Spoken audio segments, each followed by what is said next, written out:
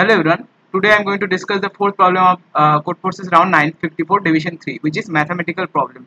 So we are given a string a of length n consisting of uh, digits 0 to 9. We have to insert n minus 2 symbols either addition or multiplication into the string to form a valid arithmetic expression.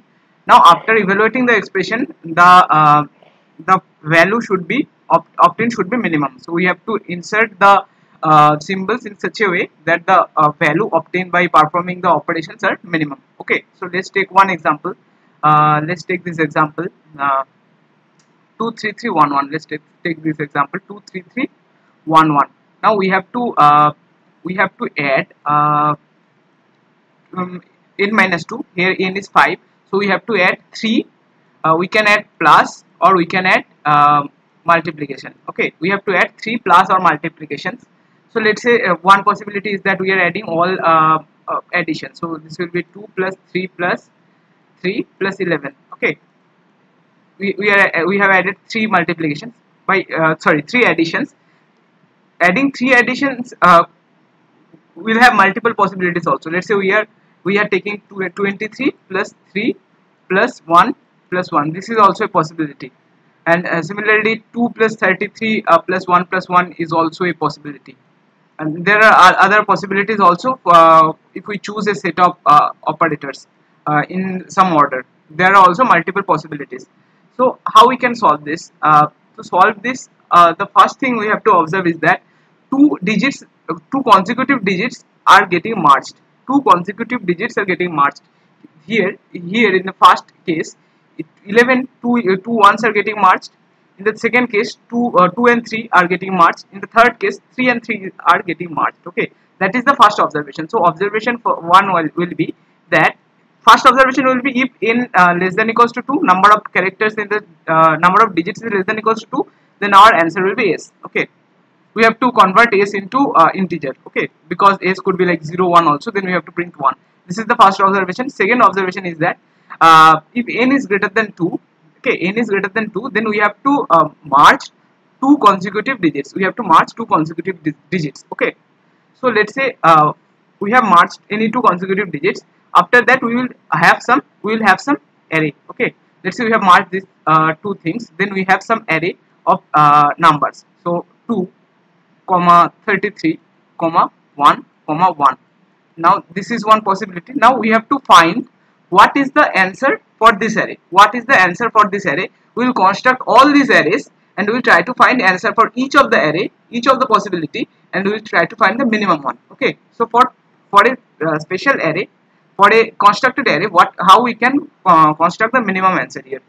So uh, first thing here is that let's say one array has something like 2 0 and 11 let's say one array contains one 0 contains one or multiple zeros then the answer will be then the answer will obviously be 0 if the array contains one 0 or multiple zeros the answer will be 0 now the next case uh, we'll uh, always will always try to uh, do addition. But there is a special case here.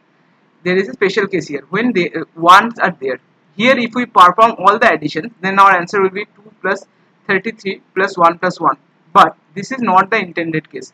The intended case is like this. 2 plus 33 into 1 into 1 which is 35 here the answer is uh, 37 and here the answer is uh, 35 okay. So how we can do that?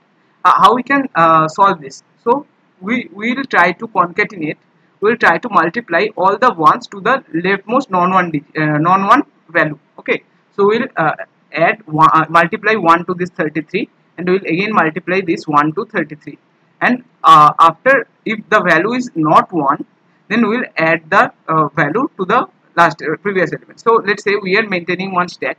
So let's say we are maintaining one stack. We'll add 2 to the we'll add 2 to the stack. Then we'll we have 33 uh, so we'll have 2 plus 33 in the array 35 okay 35 then we will uh, add 1 to the uh, array.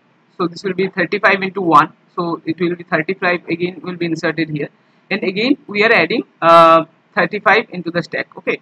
Uh, because uh, 1 is there. So we'll well, pop the 35 from the stack and we'll add 35 into 1 which is 35 so our desired answer will be 35 okay? I hope you get it.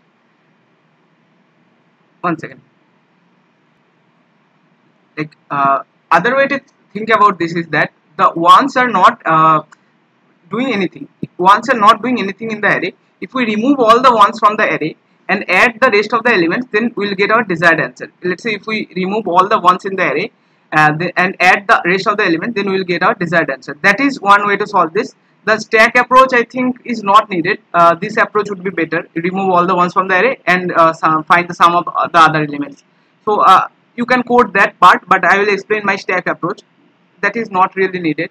So uh, we are uh, let's say we are selecting which i and i minus 1 uh, index will be merged so if j equals to uh, j not equals to i and j not equals to i minus 1 we are appending the integer value of the current digit. Otherwise we are appending sj minus 1 and sj and adding the integer value of that. Okay. Now if the uh, count of 0 in the array is greater than 0 then we'll uh, the, our answer will be 0 otherwise